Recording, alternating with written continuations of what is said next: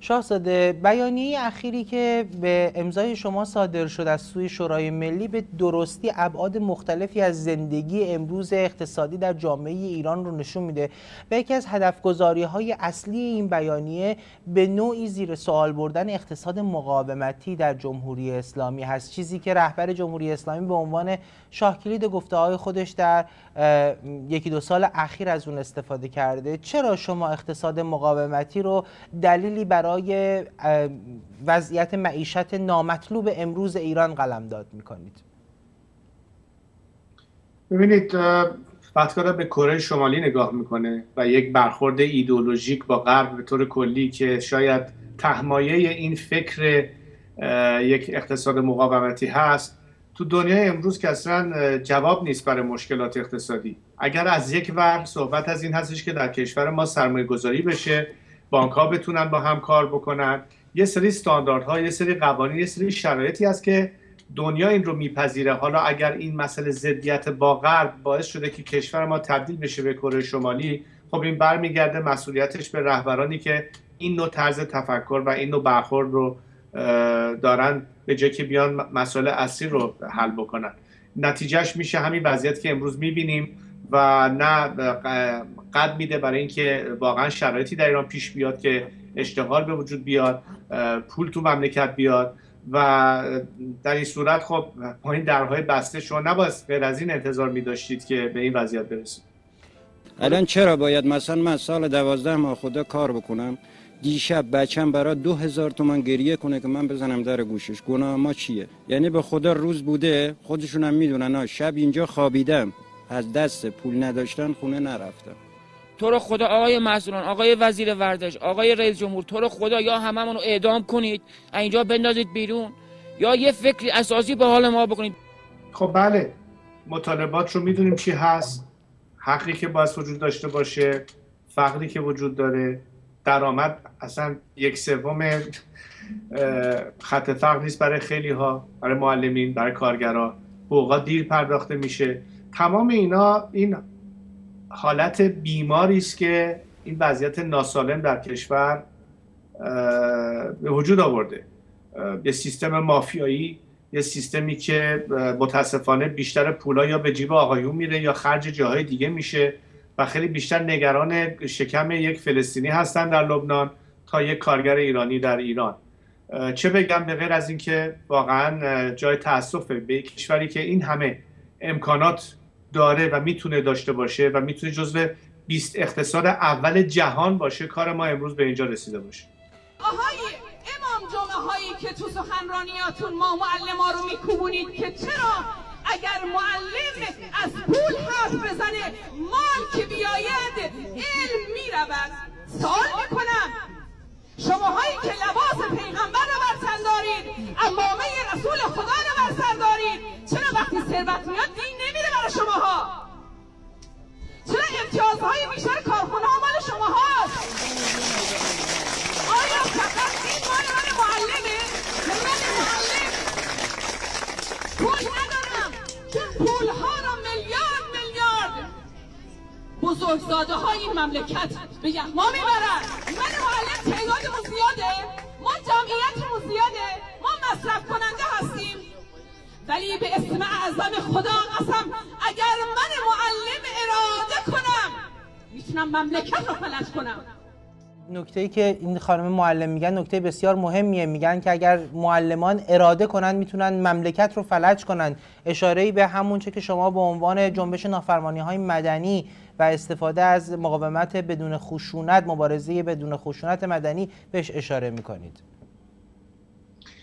ببینید واقعا بیایم و پنجاه سال گذشته کشورمون رو یک ورقی بگذاریم و همینطوری که بسیاری از همیهنانمون اطلاع دارن وقتی که انقلاب سفید در ایران شکل گرفت و با هزینه زیادی جامعه بالاخره رسید به وضعیتی که یک طبقه متوسط در کشور ایجاد شده بود و وضعیت اقتصادی کشور افتاد توی چرخشی که با درآمد بیشتری که از نفت بخصوص تو اون ده دوازده سال آخر در اصل به دست اومد یه سری برنامه ها و پروژه ها شروع شد انجام شدن. من جمله ساخته شدن خیلی از دانشگاه ها و به قول معروف چیزهایی که مملکت در صورت نیازمندش بود و از این لحاظ واقعا تولید کار شده بود و درآمد مردم بیشتر و بیشتر داشت می‌شد اقتصاد داشت رشد می‌کرد و ناگهان برخورد کردیم به این نظام ایدولوژیکی که صحبت از نغربی نشرقی و یه حالت به اصطلاح سیستمی که در ابتدا خب یک دید ایدولوژیک داشت ولی کم کم یک مافیای نظامی وارد شد و چرخه اقتصاد کشور رو به دست گرفت. بیشتر این بنگاه ها امروز فرض کنیم تو برنامه مثلا برجامشون بخوان جذب سرمایه بکنن. این پول که دست مردم نخواهد رفت. دست این به اصطلاح چرخش های کوچیکتر نخواهد رفت که واقعا در اونجاست که اقتصاد شروع می‌کنه چرخیدن دست مردم نخواهد رسید. خب این وضعیت رو کی ایجاد کرد؟ این رژیم ایجاد کرد. ما دیگه نمی‌تونیم فقط به این امید بشینیم که مسئله فقط عدم توجه این نظام هست. متاسفانه وضعیت نظام متاسفانه برخورد نظام ایدولوژی نظام ساختار این نظام طوری است که اجازه نمیده به اینکه هیچ کدوم از این مسائل گشوده بشه. فرار مغزها به جاش پیش اومد. وضعیت مردم روز به روز بدتر شده و خب نتیجهش اینه که امروز ما رسیدیم به یک وضعیتی که برای کشور نفتخیز ما یه همچین وضعیتی داریم با سطح فقر و حالا اضافه بر این مسئله و این یک نکته است که مسلما طبقه روشنفکر جامعه من جمله معلمین حتما به این مسئله توجه کردن. من بسیار نگران وضع محیط زیست ایران هستم. این عدم مدیریت صحیح آب در کشور وضعیتی رو ایجاد می‌کنه که تا چند سال آینده شاید تا دو دهه آینده شاید نزدیک یک سلس جمعیت کشورمون بایستی مملکت رو عملا ترک بکنه یا مهاجرت کنه چون آب کافی نخواهیم داشت. تمام اینا رو رو هم جمع بزنید یک وضعیتی است که با شعار و با یه سری حرفای پوپولیستی زدن نخواهند تونست حل بکنن حق داره اون معلم این حرف رو بزنه. حق داره اون کارگر این حرف رو بزنه. فراتر از این حق مسئله و گفتمان ما فقط بین خودمون نیست. به جهانیان هم بایستی مسئله رو اشاره کرد که حداقلش در که این در قالب حقوق بشر هم هست. یه حداقل اشتراک یه حداقل درآمد یه حداقل وضعیت اقتصادی در هر کشوری بایستی وجود داشته باشه. به خصوص وقتی که امکاناتش هست. حالا ممکن بگی کشور بسیار بدبخت فقیر خوشسالی افریقایی نتونه همچین درآمدی داشته باشه.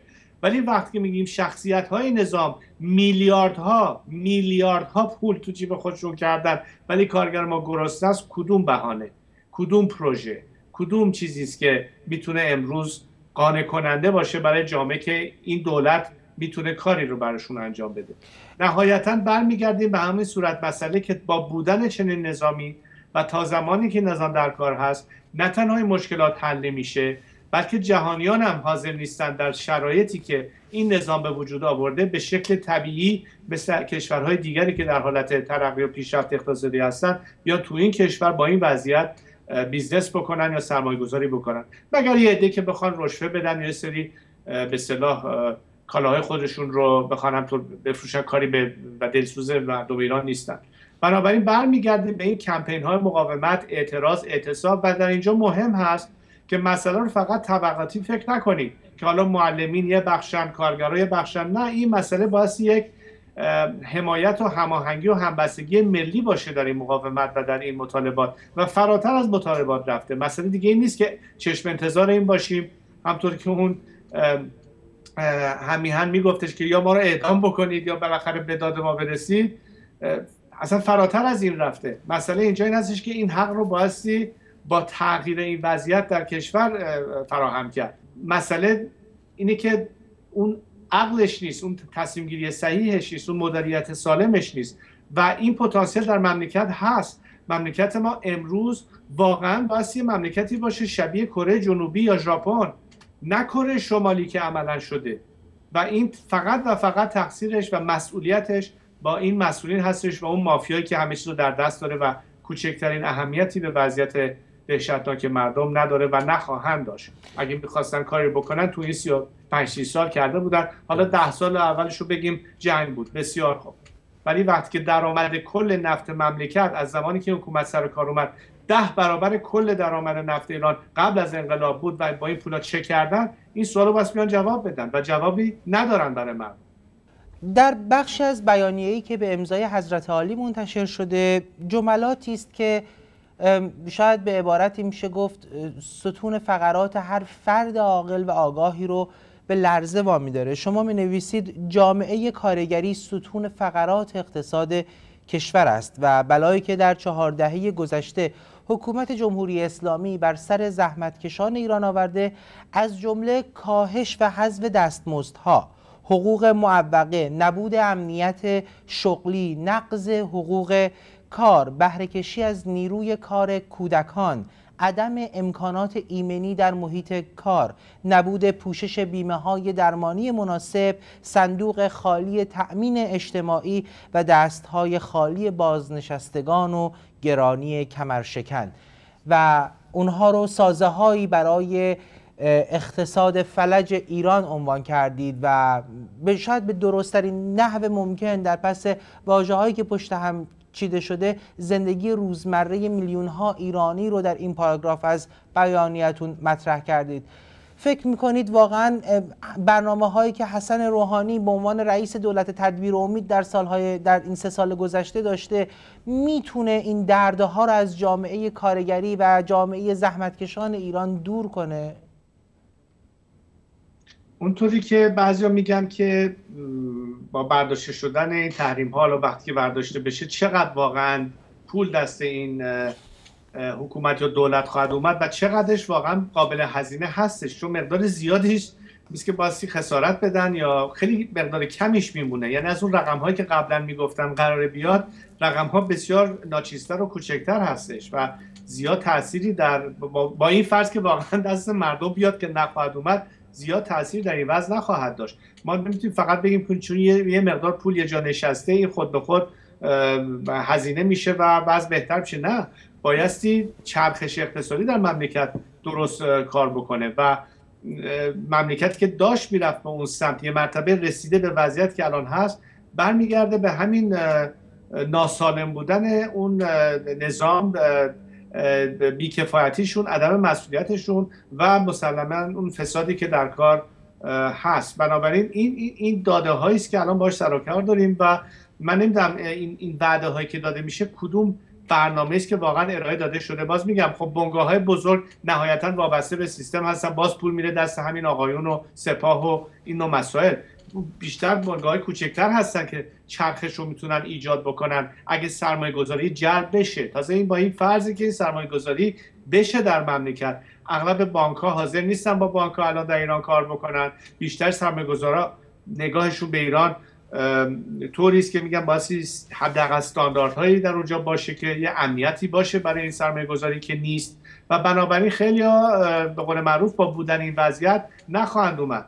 خیلی آسونه که این دو وعده ها رو به مردم اعلان بکنید. ولی در عمل خواهید دید که این کار نمیشه و حیف حیف برای که مملکت ایران یه مملکتی است که داد می‌زنه برای سرمایه گذاری ولی با کدوم نظام با کدوم وضعیت؟ با این وضعیت که هست محال عقل که همچین اتفاقی بیفته.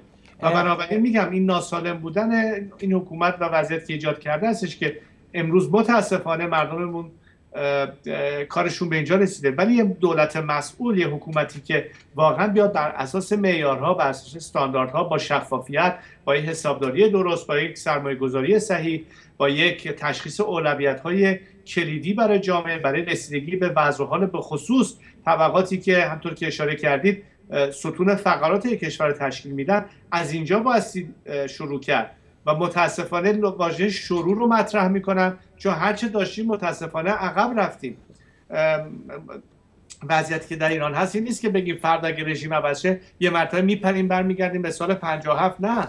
انقدر نظام خسارت زده که شاید برگشتیم به دوره درست بعد از انقلاب مشروطیت. از نظر رشد فکری و سیاسی و عقل مردم نمیگم از نظر وضعیت اقتصادی میگم. چگونه این چرخش رو از دور راه انداختن؟ خیلی اتفاقات باز در آن باید بیفته. که می‌تونه بیفته اما شرایطش رو باید ایجاد کرد. و متاسفانه با بودن این رژیم اگه بگیم از صفر تا صد صد تاشو لازم داریم این رژیم حتی 5 درصدش هم نمی‌تونه ارائه بده. در صورتی که حکومت سالم دست کم می‌تونه 60 70 درصدش رو آنن فراهم بکنه و بقیهش برمیگرده به یک خارج شدن از این بیراهه و برگشتن به اون قلتک. یک یک تغییر بنیادی رو می‌خواد. این بازی نمی‌دونم سیاسی بین رژیم و آقای خامنه ای از یه ور آقای روحانی از اون ور نمی‌دونم برجام از این ور اقتصاد مقاومتی از اون ور این بده به درون خودش رو این درد مردم رو علاج نخواهد کرد. خیلی کمپین های شعارباری هست ولی هیچ برنامه عملی رو ارائه نمیدن. نتیجهش هم عملا خواهیم دید. حرف من اینه بی خود امید نبندیم به این وضعیت. یک مسئله اساسی هستش. هر روزی هم که میگذره این خسارتش بیشتر وارد خواهد شد. نسل بعدی اصلا معلوم نیست که از کجا بخوان در واقع تامینی داشته باشن. بیمه ها رو اشاره کرد. مثلا طبقه ای که وارد بازنشستگی میشه اصلا پولی نیست که بتونن نشون بیارن. وای به حال بقیه اینا همش نتیجه این عدم مدیریت صحیح هستش. یعنی سریع باز جنبید چون این وضعیت همطور ادامه خواهد داشت. به امید نشیم که اگه در باشه یه مرتبه همه چیز رونق پیدا می‌کنه. ممکنه جیب خیلی دوباره بیشتر پر بشه. ولی متاسفانه بیشتر محرومترین طبقات مملکت دستشون چیزی نخواهد اومد. شما نمی‌تونید با شعار سطح فقر رو عوض بکنید. باز شرایط عینی و واقعی رو پیاده بکنید. برنامه های واقعی رو پیاده بکنید. هزینه های درست بکنید. سرمایه‌گذاری امکان پذیر بکنید. قوانین بانکی درست باشه. استانداردهای بین‌المللی و معیارهاش تعیین بشه. و شما اگه فکر می‌کنید که مافیا حکومتی اجازه خواهد داشت که این این مونوپولی که در کار دارن یا به قول معروف این بازارسیایی رو که ایجاد میشه رو از دستشون بگیرن به قول معروف کور خوندیم و و همچین اجازه رو نخواهند داد. و متاسفانه اینا همدیگر رو میپان هوای همدیگر رو دارن. تنها چیزی که هواشو ندارن هوای مردم هست. در بیانیتون برای نخستین بار حالا چون از کلمه شروع هم استفاده کردید می‌خوام بگم در ادبیات سیاسی معاصر در ایران بی سابقه است. در این نامه شما نوشتید ما از جامعه جهانی می‌خواهیم. که تمرکز خود را بیش از هر زمانی در روابط اقتصادی تجاری و سیاسی و دیپلماتیک با جمهوری اسلامی بر حقوق معیشتی مردم رنج دیده و ستم دیده ایران متمرکز کند. این ادبیات برای نخستین باره که داره در نامه خطاب به مقامات جهان و سران کشورها و قدرت‌های بین المللی مطرح میشه. تا به امروز همیشه صحبت از حقوق بشر بوده. حقوق معیشتی چیست و چرا شما این زنگ خطر رو به صدا در آوردید؟ ببینید یه بخشیش مربوط میشه به سری ارزش های جهانی و حقوق بشری که یه مسئولیت اخلاقی و وجدانی ایجاد می‌کنه برای دولت ها و کشورهایی که این ادعا رو دارن که از این اصول و از این ارزش ها دفاع می‌کنن. خب اینو باز در عمل ضمنا نشون بدن و ثابت بکنن. بنابراین این یه نکته است. اما از یک دیدی بگیم حالا دلشون الزامن به حال مردم ایران نسوخته باشه. به حال خودشون که میسوزه حداقل. خب شما الان ببینید وضعیتی که در سوریه پیش اومده. خیلی از این مهاجرین نمی‌خوام بگم فقط به خاطر یک سری گرفتاری هایی که ایجاد شده با داعش و غیرزالک ولی همین وضعیت محیط زیست همین کمبود آب همین مهاجرت به دلایل بیکاری یا یا به دلایل دیگر شما تعداد انبوهی رو از جمعیت ایران باسید به این مدل اضافه بکنید که سرازیر این کشورها خواهند شد به عنوان پناهجو. اروپا استرالیا همه جا. و این گریبانگیرشون خواهد شد. بیشتر از آنچه که در حال حاضر هستش که به زحمت می‌تونن از پسش بیان. بنابراین به نفعشون هست که کاری انجام بشه که وضعیت اقتصادی مردم یک منطقه بهتر بشه که اصلا کار به جایی نرسه که ناچار مجبور بشن به تلاش در مهاجرت یا پناهجو شدن. اگه به خاطر مسئله حقوق بشریش هم نباشه به خاطر این محاسباتشون هم باز باشه و الان اگه نگاه بکنید روند در جهت ازدیات خیلی سریع این مهاجرین هستش. و به هر حال یک وضعیت خوشسالی و یک وضعیت بسیار نافرجامی که می‌تونه نتیجه نداره مدیریت صحیح موتیزیس باشه در اون منطقه مثلا کل منطقه رو آغشته خواهد کرد. یه سری درگیری های منطقه‌ای بین مردم مناطق دعوا سر آب یا کمبود آب خواهد شد که اصلا یه جنگ شاید قرن 21 خواهد بود. که نفت دیگه مسئله جنگ جهانی نیست بلکه آب خواهد بود. اینا چیزهای بسیار کلیدی است که جهانیان از همکنون باید به فکرش باشن و باز بدونن که عواقب ادامه این وضعیت بدتر شدن و بدتر شدن این وضعیت چه به خاطر خودشون باشه چه به خاطر مردم و منطقه. و این بنابراین نیازمند یک عکس شدیدی هست بلکه تنها عاملی که باعث این وضعیت هستش که با نبودنش بسیاری از این مشکلات می‌تونه حل بشه یا سریعا می‌تونه جبران بشه نظامی است که الان در کشور ما هست. تعارف که نداریم. هر جوری نگاه بکنید آخر خط برمیگرده به ماهیت نظام و اولویتاش ما همیشه از دریچه منافع ملی کشورمون صحبت می‌کنیم و منافع ملی کشور ایران هیچ ربطی به مسائل مسلحت نظام جمهوری اسلامی نداره.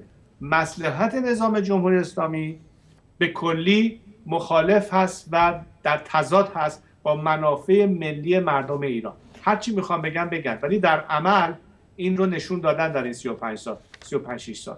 این هستش که من فکر نمی کنم که این نظام هرگز تغییر ماهیت خواهد داد و متاسفانه ضررش رو هر روز بیشتر داره می‌زنه به کشورمون به منطقه و یک خطر جدی رو برای ثبات منطقه‌ای و جهانی ایجاد کرده به همه دلایلی که می‌دانیم. ولی این وضعیت اقتصادی و گرفتاری که مختص و اولین متاسفانه می‌خوام بگم گرفتاریش مردم ایران متوجهش هستن این یه چیزی که واقعا یک مسئولیت اولیه خودمون هست ولی بایستی جهانیان رو مطلع بکنیم که ایران یک کشوری است که خیلی راحت می‌تونه از این موزل خارج بشه. اگر اونها نیز با مردم ایران همراه بشن و کاری نکنن که آخر سر این نظام برای حفظ خودش و برای مسلحت خودش این همه ضرر رو نه تنها به مردم ما بلکه به منافع جهانیان بزنه که داره می‌زنه. و هیچ راهی برای خروج از این بنبست برای نظام نیست بگنید که خود نظام از بین بره و به همین دلیل هستش که ما مخالف اساس این نظام هستیم و گرفتار این بازی ها و مانورها و صحنه ها و مهندسی های انتخاباتی و وعده های اصلاحاتشون نیستیم. برای که عملا هیچ بهانه رو این رژیم نداره که آنچه که در دستش هست به دست مردم برسونه. اگه هیچی نبود گفت چیزی نیست که براتون تقسیم بکنیم. ولی هست متأ دست مردم ایران نیست. جیب مردم ایران نمیده درسته. شاهزاده پس اگر من درست متوجه شده باشم از فرمایشات شما شما به واسطه این بند از بیانیه اخیر شورای ملی جمهوری اسلامی رو متهم به نقض حقوق معیشتی مردم ایران در کنار سایر حقوق نقض شده و پایمال شده شون می‌کنید و به جهانیان هم هشدار می‌دید که در این راه همراه و همدوش مردم ایران باشند نه دولت جمهوری اسلامی. ببینید بارها اینو گفتیم که حساب مردم ایران از حساب رژیم جمهوری اسلامی باید جدا باشه. چندین سال نه تنها من خیلی اینو می‌گفتیم در اپوزیسیون در مقابل رژیم. دنیا زیاد توجهی نمی‌کرد. در زمانی که بسیاری از مخالفین سیاسی نظام در اروپا یکی یکی ترور می شدن توسط تروریست رژیم از شاپور بختیار بگیرید تا قاسملو بگیرید تا دیگران. همین اروپا اصرار داشت که با رژیم یه جوری تجارت و معامله بکنه. دهه اون به قول معروف ده 15 سال اول. بعد که مسئله یه مقدار بیخ گرفت و مشکلات دیگه ای پیش, پیش اومد مسئله 11 سپتامبر پیش اومد و مسئله حمله آمریکایی در افغانستان و عراق و خیلی مسائل دیگر و جهانیان به نوعی آبستن این قضیه شدن. وقتی که جمهوری اسلامی اومد و عملا به عنوان پدرخوانده تروریسم رادیکال مذهبی وضعیتی رو فراهم کرد که نتیجهش آخر سر همین پیدایش جریاناتی مثل داعش و غیره شد. این جنگ سنیشیه که به وجود اومد تمام اینها برمیگرده به ماهیت رژیم. من نمی‌تونم از دید منافع ملی یک ملت و یا منافع امنیتی یا تجارتی یا اقتصادی جهانیان بتونم این رو برای خودم توجیه بکنم که چگونه سیاست حفظ وضعیت موجود به صلاح اون ملت یا به صلاح منافع خودشون هست. فقط می‌تونه به صلاح خود این نظام باشه. هیچ کسی به غیر از این نظام منفعت از این وضع نمی‌بره. بنابراین یک نوع همدستی باسی بین جهانیان و مردم باشه و در اصل حرف من همیشه به جهانیان این بوده بدون تعارف شما می‌تونید یا سمت رژیم رو بگیرید به ضرر من رو مردم ایران یا پشت مردم ایران بیستید به ضرر رژیم. ولی نمی‌تونید بگین هم مردم رو می‌خوایم همین رژیم رو. نه تکلیفتون رو باید مشخص کنید یه تصمیمه. و ما مردم ایران یادمون نخواهد رفت که در این مبارزه و در این پیکار کی با ما هستش امروز و فردا جواب سلامشون رو خواهیم داد. و ضمنا فراموش نخواهیم کرد. کسانی که با تمام این داده ها و با دانش این وضعیت که به سر مردم ایران همچنان قصد معامله با این نظام دارند بدون توجه به وضعیت وخیم مردم ایران. این یه هشدار نیست این فقط بیان یک حقیقت پر واضح هستش و مردم ایران خاطره زیادی در تاریخ دارن از این نوع نمونه هایی که الان براتون میارم. باری فکر کنم بایستی با این رازنی رو در سطح جهانی کرد چون اگر درست متوجه مسئله باشن بعید می‌دونم که دولتی یا کشوری به خصوص کشورهای آزاد جهان بی توجه باشن به این مسئله. ولی همیشه دنبال یک راه حل بودن. متاسفانه تا به حال سرکارشون فقط با این نظام و سرکردگانشون بوده. من بارها و بارها به این افراد گفتم سیاستمداران تصمیمگیران قانونگذاران که آقا شما 36 سال فقط و فقط دیالوگتون محدود بوده به رژیم و, و, و, و, و کسانی که نظام معرفی می‌کنه. هیچ وقت دیالوگ مستقیم با خود مردم ایران نداشتید. با نهادهای مدنی کشور نداشتید. با مخالفین سیاسی نظام نداشتید. با تمام نیروهای سکولار دموکرات کشور نداشتید. چطور تصور می‌کنید که جواب مشکلات رو از دهان همون کسانی بشنوید که خودشون باعث این بدبختی هستن؟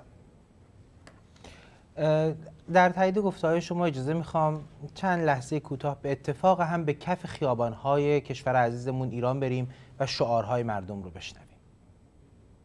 دولت تدبیر و امید کو تدبیر کو امید. دولت تدبیر و امید کو تدبیر کو امید. دولت تدبیر و امید کو تدبیر کو امید. دولت تدبیر و امید کو تدبیر کو امید.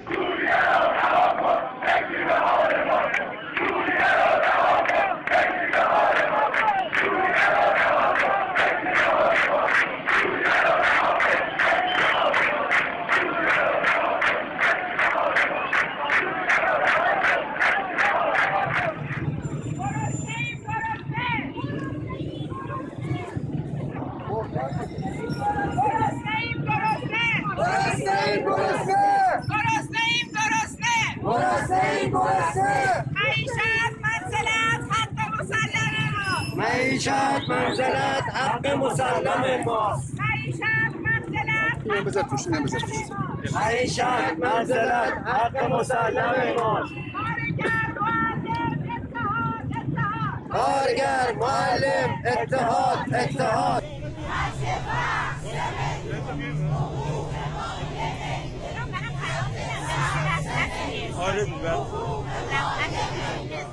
خب ببینید کف خیابون هم میگه حق مسلم. یعنی کاملا درک می‌کنن که در یک شرایط عادی و سالم مسلما وضعیت بسیار متفاوتی می داشتن تا وضعیت که الان دارن.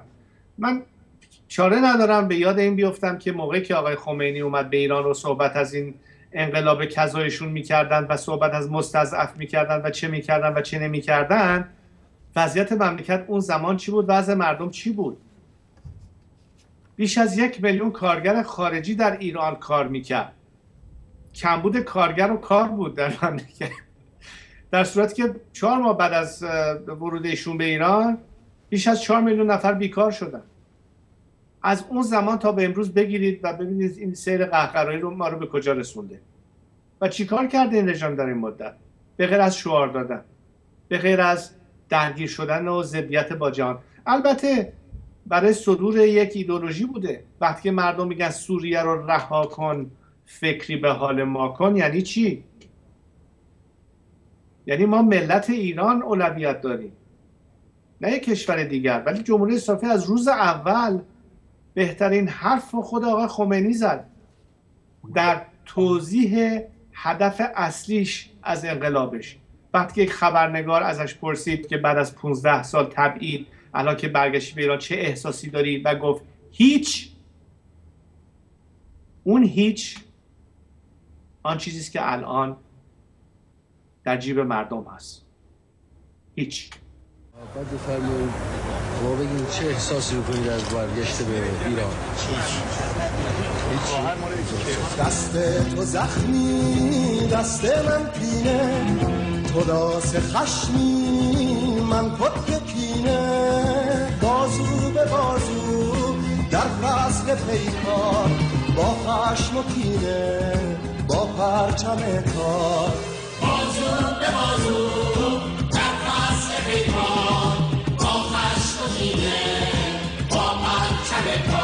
چرا ما یه آدم ضعیف باید زیر بار بگردمان باشه مگه ما انسان نیستیم؟ مگه خدا ما را خلقت نکرد؟ من که خودم الان هم ناراحتی کلوی دارم هم ناراحتی قلبی دارم. از سر صورت خانم مشخص مریض. با همه درد و رنج داریم می‌سازیم. از کسی هم توقع نداریم ولی توقع نداریم تو سرمان بزنن به ولای علی قسم ظلم دارم می‌کنم این عدالت نیست چرا خاک ایران من وطنمه دفاع ازش می‌کنم ولی آرزوی همه چیز تو مملکتم تو دلم مونده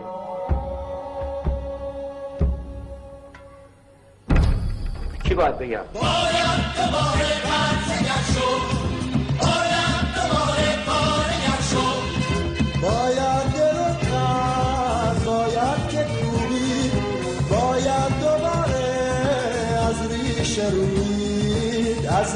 باید باید باید دوباره از ریش از ریش روید ولی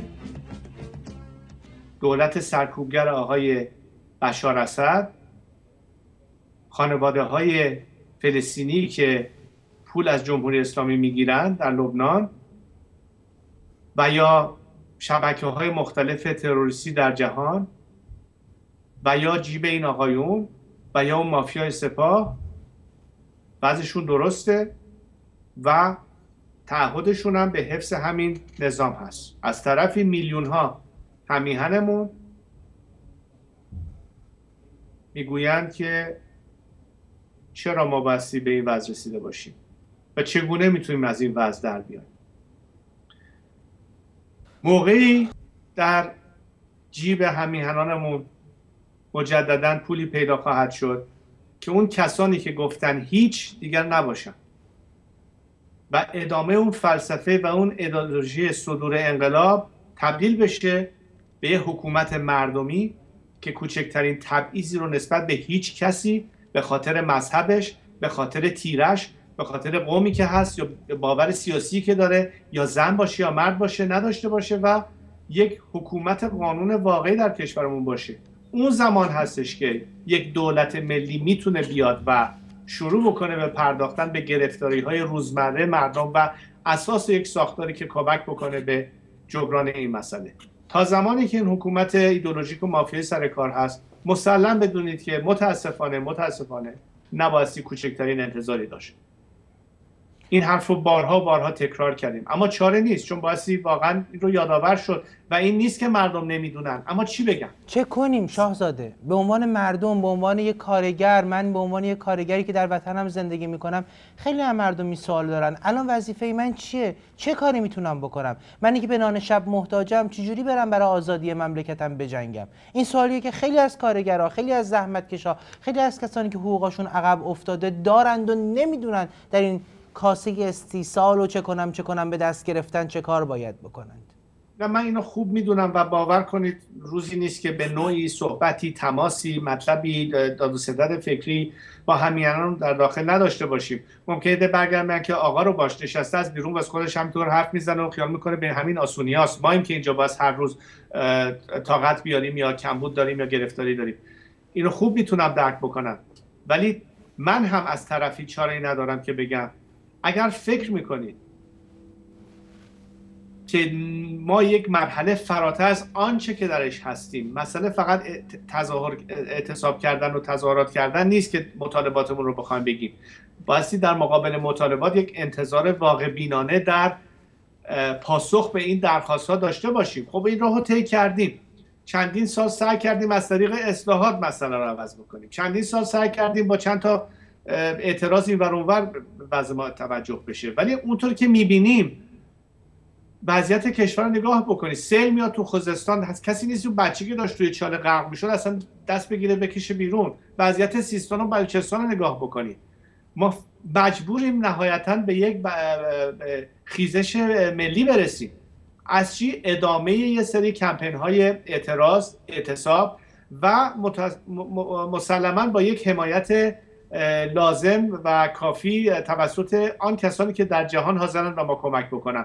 من تمام تلاشم این هست که بتونم برای یک کمپین مبارزه مدنی در ایران و حمایت هرچه بیشتر از, از طبقات کلیدی مملکت راهی رو پیدا بکنیم که از یه ور بتونن این اعتصابات رو سر سریعتر اجرا بکنن و ضمنا یه چیزی هم دستشون بیاد که به قول معروف از گرسنگی اینجا از بین نرن. من حالا تمام جزئیات رو نمی‌تونم علنا فاش بکنم به دلایل پروازش ولی داریم رو مسائل کار می‌کنیم. اما بسیاری از این مسئله بستگی خواهد داشت که این آمادگی به قدم بعدی رو برداشتن رو در جامعه ببینیم. مسلما دیدیم که بسیاری از همیهنانمون اعتراض کردن بعضی اعتصاب کردن با دانستن کامل اینکه ممکنه این ریسک رو بگیرن که حتی اون چندرغاز درآمدی هم که دارن از دست بدن. ولی این مسئله کفایت نمی‌کنه. و وضعیت هم عوض نمیشه بدتر هم خواهد شد. من هیچ امیدی به این ندارم که ناگهان به شکل معجزه آسایی وضعیت اقتصادی مردم یه روزه عوض بشه. یا این وضعیت سطح فقر عوض بشه. سی سال طول کشید که به اینجا رسیدیم. یه شبه این مسئله عوض نخواهد شد. پس بنابراین اگر ما هیچ تغییری در جهت مثبت الان نمی‌بینیم اگر اونجور پولی هم نیست که اگه آزاد بشه دست مردم برسه فقط بیان این مطالبات دیگر کافی نیست. به سری اقدامات محتاج هستیم. این برنامه ریزی را باید انجام بشه این طرحها باید وجود بیاد. بایستی از جهانیان در این مورد حمایت گرفت. بلکه پول فقط دست این حکومت و خرج خودش و منافع خودش می‌کنه. بنابراین یه جوری بایستی وضعیتی رو ایجاد کرد که بتونه این کمپین ها رو سپورت بکنه یعنی در واقع حمایت بکنه و یک تقسیم کار واقعی بشه و یه سری برنامه ریزی صحیح برای این فشار آوردن. من فکر می‌کنم بسیاری هستن. که در داخل همین نظام هستن و گیر کردن. به خصوص مقامات انتظامی رو میگم. که دلشون با مردمه. ولی وضعیت رو هنوز ندیدن که در جهت یک تغییر اساسی باشه که بتونن موزگیری بکنن. اینا همه باش روش کار بشه. و من این مسائل البته خیلی در ابعاد کلیش دارم بیان می‌کنم. اما چاره نهایی واقعا یک براندازی است. نه اینکه اصرار بکنیم برای اینکه دلشون بالاخره به حال ما بسوزه و توجهی بکنن اون چیزی که مونده هزینه خودشون خواهد کرد هزینه مردم نخواهند کرد. و این مشکل باسید این رو در نظر بگیریم که ما نمی‌تونیم فقط بگیم اینجا بدبختیم بیچارهیم فقیریم پول نداریم درآمد نداریم اشتغال نداریم و آقایون یه فکری به حال ما بکنید. اگه می‌خواستم بکنن تا حالا کرده بودن. پس کار دیگری باید کرد. بله می‌دونم سخته. بله می‌دونم به این آسونیا نیست. اما چاره به غیر از این نداریم. چون از داخل این سیستم چیزی دست ما نخواهد اومد. حضرت عالی از توانمندسازی اقشار کم درآمد و کسانی که در قالب این طرح می‌تونن بدنه جنبش های مردمی رو تشکیل بدن صحبت می‌کنید. روبروی شما جمهوری اسلامی مشخصا سعی می‌کنه که همین قطره های آب رو هم بخشکونه و وقتی کارگران بیکار مثلا نیشکر هفتپه دست به و حال پدر خانواده است بعد امرار معاش کنه میره برای دست فروشی بسات دست فروشان رو هم با ظلم و استبداد جمع می‌کنن و اون رفتارهای شنی رو می‌بینیم که منجر میشه به برخی از وقایعی مانند خودسوزی جوان اهوازی که خود شما هم براشون پیام دادید جوان خوزستانی که سال پیش از این رخ داد یا اعتراض گسترده دست فروشان در شهر اهواز که اگر اجازه بدید گوشه از این اعتراض رو هم به اتفاق شما ببینیم و در نهایت بحث رو با حضرت عالی جمع کنیم.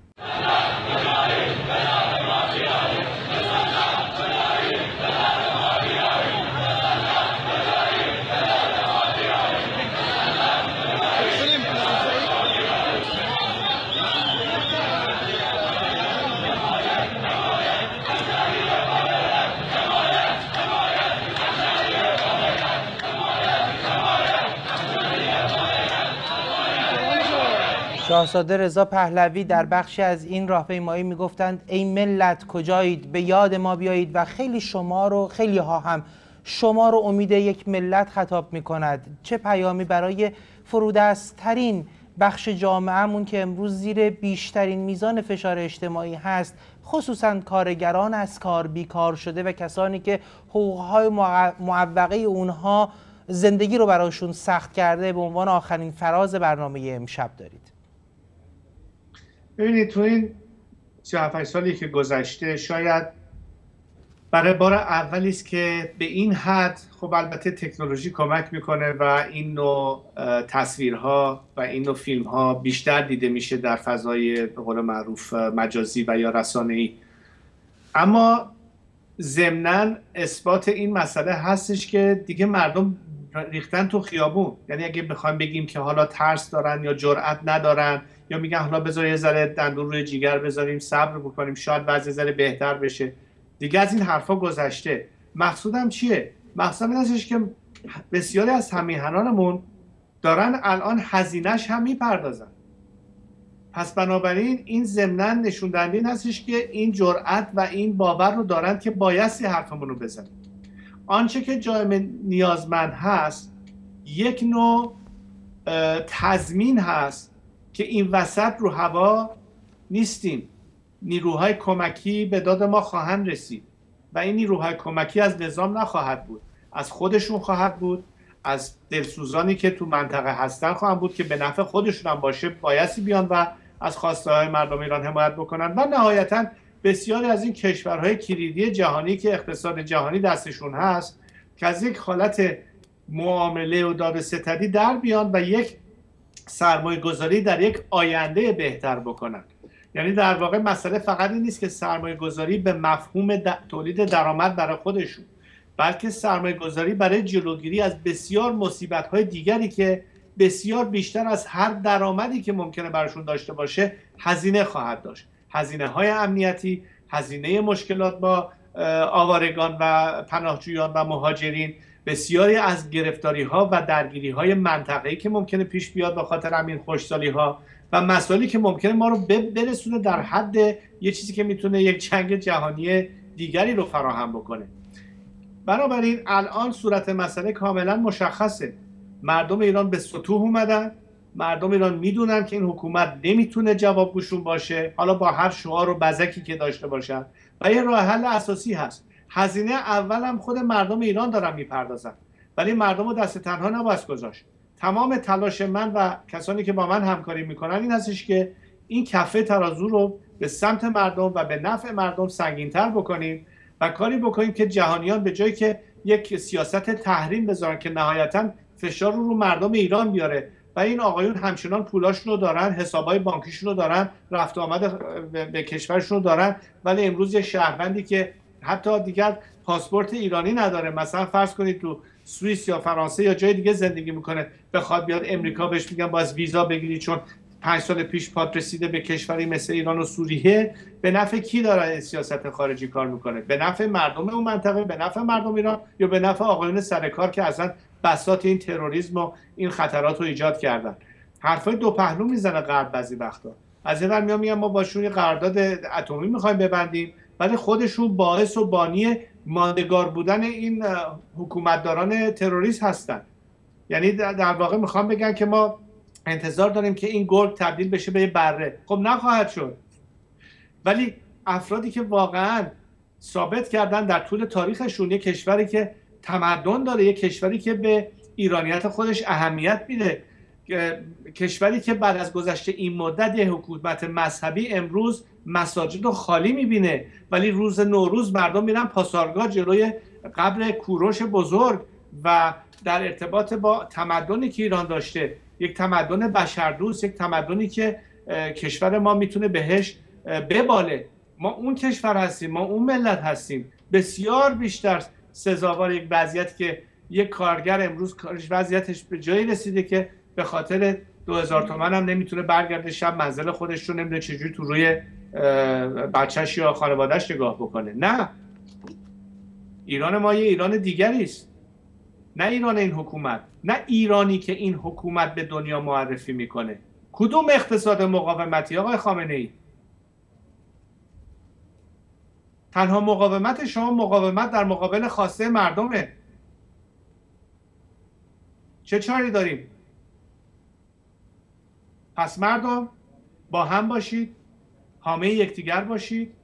من تمام تلاشمو دارم انجام میدم در رازدنه های بین که این حمایت از شما بشه که هر چی زودتر از شر این حکومت خلاص شیم و برگردیم به یک جرگه که به نفع کشور ما باشه سازندگی باشه رفاه باشه امنیت باشه آزادی باشه برابری باشه و کشورمون رو از نو بسازیم. همطور که قبلا هم کردیم در طول تاریخ. و این نیز بگذرن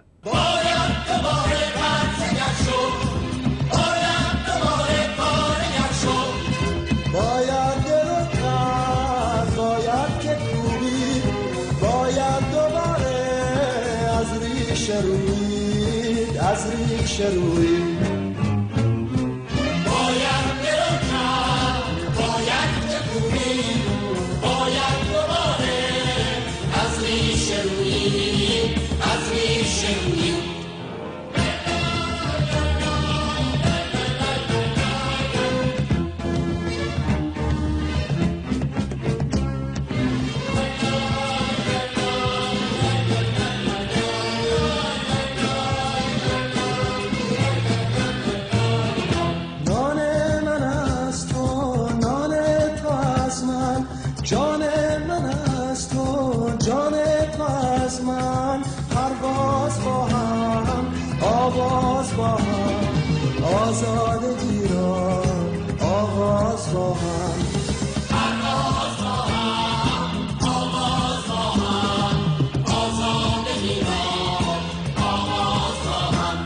سپاسگزارم شاهزاده رضا پهلوی ریاست شورای ملی ایران برای انتخابات آزاد که فرصتتون رو در اختیار رسانه خودتون افق ایران قرار دادید. سپاس از شما و بار دیگر فرارسیدن این روز رو نمی‌دونم بتونم بگم تبریک میگم ولی یادآور میشم و بهانه است برای اینکه واقعا هرگز فراموش نکنیم که این وضعیتی که به سر همیهنانمون هستش و اومده بایستی هرچه زودتر از بین بره و عوض بشه و با این تلاش و با این همت قطعا می‌تونیم موفق باشیم. همطور که گفتم مردم این هزینه رو دارن می‌پردازن ولی نباید تنهاشون گذاشت. بایستی ازشون حمایت کرد. به خصوص جامعه برون مرزی خیلی می‌تونه در این مورد کمک بکنه و خلاصه بایستی دست در دست هم دیگر ایستادگی کنیم مقاومت بکنیم تا بالاخره به حق خودمون برسیم. سپاسگزارم و ضمن قدردانی و تشکر از همکارانم در اتاق فرمان. سرکار خانم امانی تهیه کننده این برنامه همچنین مدیریت محترم تلویزیون اندیشه جناب آقای پرویز کاردان و نادر درمانی که امکان ارسال این تصویر روی آنتن‌های تلویزیونی رو برای ما فراهم می‌کنن.